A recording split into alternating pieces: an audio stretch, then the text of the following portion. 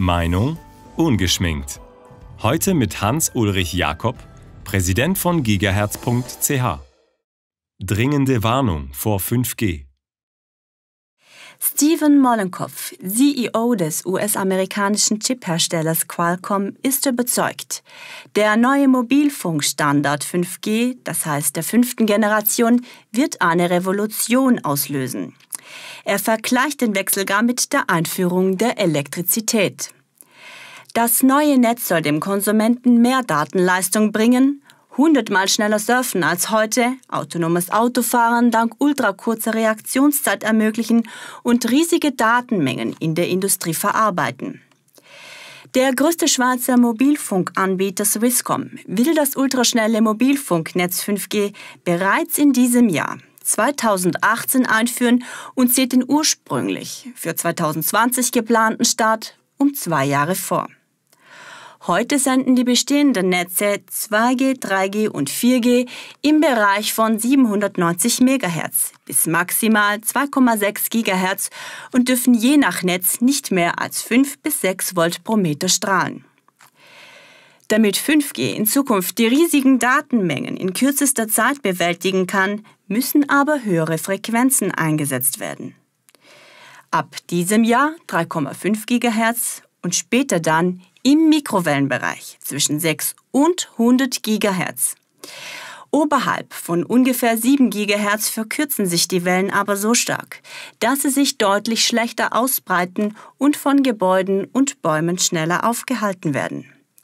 Wie sollen diese hohen Frequenzen dann übertragen werden und was bedeutet das in Bezug auf die Strahlenbelastung für Mensch und Umwelt? Der Schweizer Verein Gigahertz.ch, der sich seit Jahren für den Schutz vor schädlichen Auswirkungen elektromagnetischer Strahlung einsetzt, ist diesen Fragen nachgegangen. Dazu untersuchte er eine Schrift der schwedischen Firma Ericsson, welche der Swisscom die Ausrüstung für 5G-Basisstationen inklusive Antennenanlagen liefern wird.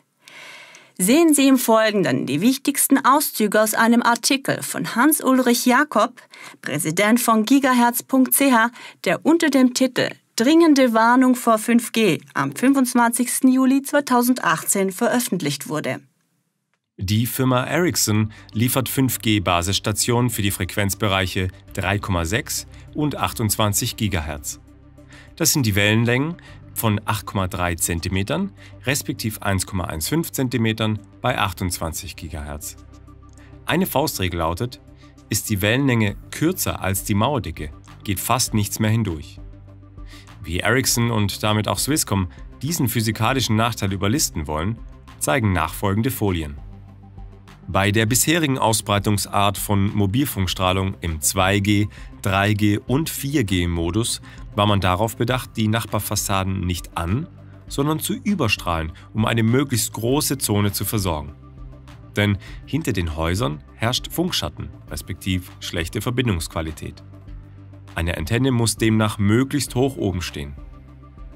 Bei 5G wird alles anders, weil man mit 3,6 respektive 28 GHz Mauern fast nicht mehr bis überhaupt nicht mehr durchdringen kann, muss praktisch jede Fassade einzeln angestrahlt werden. Das heißt, es muss mindestens alle 100 Meter eine Mobilfunkantenne möglichst tief unten angebracht werden. 100 mal mehr Daten in 100 mal höherer Geschwindigkeit wird versprochen. Wir haben immer gerätselt, wie das wohl gehen soll. Jetzt wissen wir es. Anstatt einer Strahlenkeule pro Senderichtung sollen es jetzt 64 sein. Je acht nebeneinander und je acht übereinander.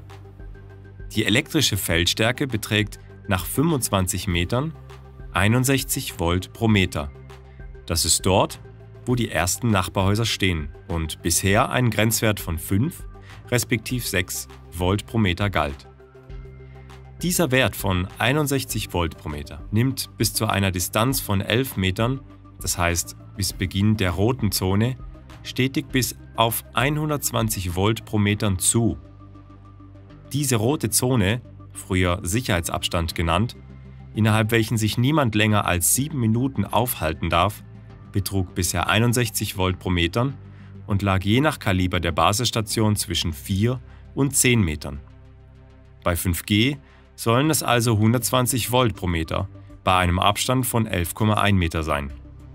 Die ICN-IRP, die sich Internationale Strahlenschutzkommission nennt, in Wirklichkeit keine Behörde, sondern ein rein privater Verein ist, hat ihre Grenzwertempfehlungen bereits 5G fähig gemacht. Diese lauten neu für den Frequenzbereich von 5G auf 200 Volt pro Meter für Arbeitsplätze und 90 Volt pro Meter für die Allgemeinbevölkerung. Das heißt, um 5G einführen zu können, müssten die Schweizer Anlagengrenzwerte von 5 respektive 6 Volt pro Metern komplett aufgehoben und der Sicherheitsabstand von heute 61 Volt pro Meter auf 200 Volt pro Meter angehoben werden. Das wird postwendend auch die WHO machen, da die ICNIRP dort als Top-Einflüsterer wirkt. Ein erstes Baugesuch der Swisscom für eine 5G-Mobilfunkantenne nach Folie 2 liegt der Fachstelle für nicht ionisierende Strahlung von gigahertz.ch bereits vor. Laut Standortdatenblatt von Swisscom ergäbe sich hier in einer Distanz von 25 Meter 2,65 Volt pro Meter und in einer Distanz von 50 Meter 1,32 Volt pro Meter. Nach Ericsson wäre es jedoch gemäß Folie 2 in einer Distanz von 25 Meter 61 Volt pro Meter und in einer Distanz von 50 Meter 30,5 Volt pro Meter. Das wäre dann nach geltendem Recht eine Grenzwertüberschreitung um das Fünffache. Woraus ergibt sich dieser frappante Unterschied von Faktor 23? Swisscom versucht die Anwohner mit folgendem Trick zu täuschen. Anstatt 64, also 8x8 Strahlencoin pro Sektor, flunkern sie den Anwohnern vor, es gäbe nur eine einzige Keule und diese sende erst nur mit 100 Watt effektiver Strahlenleistung ERP. Vergleicht man im selben Standortdatenblatt die Sendeleistung des 3G-Dienstes UMTS im 2100 MHz Band, sind sogar dort 1000 Watt ERP pro Sektor deklariert. Also eine zehnfach höhere Zahl als die angeblich 100 Watt Sendeleistung des 5G-Dienstes. Hier muss doch selbst dem blutigsten Laien auffallen, dass dabei 5G gelogen und betrogen wird, dass die Balken krachen.